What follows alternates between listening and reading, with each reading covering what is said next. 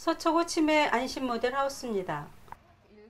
내부에는 일반 모델 하우스와는 다르게 모든 수납장과 물건에는 글씨와 그림, 스티커들이 붙여져 있는데요. 치매 환자들을 위한 세심한 배려가 돋보입니다.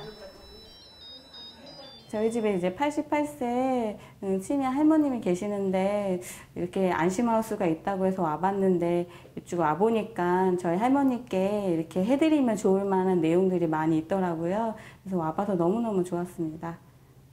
외출할 때 어르신들이 앉아서 신발을 신을 수 있도록 만든 의자인데요. 손잡이를 만들어서 넘어지지 않도록 만든 지지대가 눈길을 끕니다.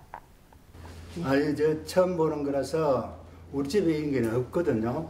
그런데 해보니까 너무 편리한 것 같습니다. 꼭 그 가정집에서는 필요한 그런 어, 도구인 것 같습니다.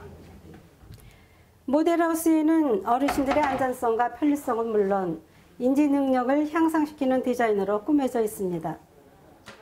화장실입니다. 변기와 변기 뚜껑을 배색을 사용해서 어르신들이 구별하기 쉽도록 했습니다. 거울에도 블라인드를 설치해서 치매 환자들이 거울에 비친 자신의 모습을 보고 놀라지 않도록 했습니다. 치매 안심하우스는 서초구가 지난해 주민 제한 사업으로 선정된 서울시 예산으로 운영되는 전국 최초 안심 모델 하우스입니다.